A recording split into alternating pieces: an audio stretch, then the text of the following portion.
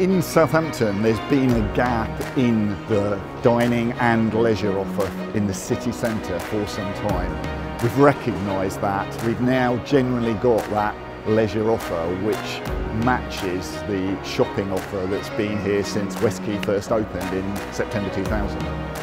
So tonight is the culmination of many years of ambitious planning to get to a point where we have a leisure development, a leisure extension here at West Quay.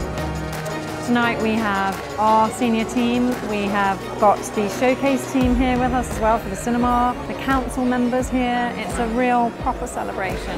It's, it's amazing to see an attraction like this come to our city. Thank you all for joining us here to mark the official launch of Southampton's new iconic extended West Quay development. Building itself in West Quay South is absolutely stunning.